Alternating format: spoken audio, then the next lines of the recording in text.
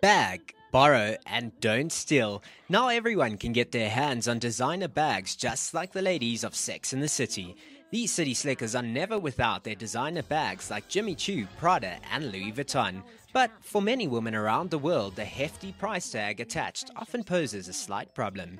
Now, thanks to Jennifer Hudson's character in the film, who comes up with the rent a bag concept, a new company is hitting our shores and offers an affordable option for bagging it. Yes, renting it.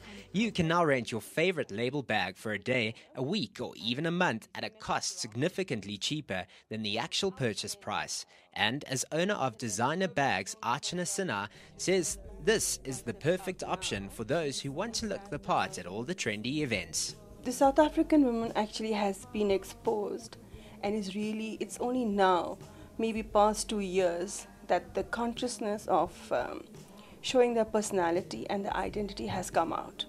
So the moment I saw that awareness coming through, uh, and I have been exposed internationally, I decided, okay, now is the time to add value to that style and personality. But designer bags don't come cheap, so they're extremely um, prohibitive.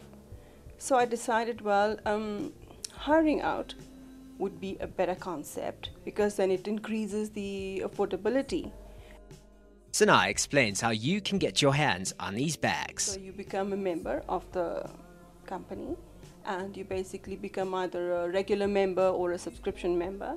And it's very simple. You browse the bag on the website and uh, it is delivered to you. And when your duration is over, you can it can be collected from you. So you can hire it for a week, a fortnight, or a month. Otherwise, you can decide to be a regular member and uh, you can say, well, I want it every month then we call it a subscription membership and you can have a bag every month. We're trying to promote a lifestyle.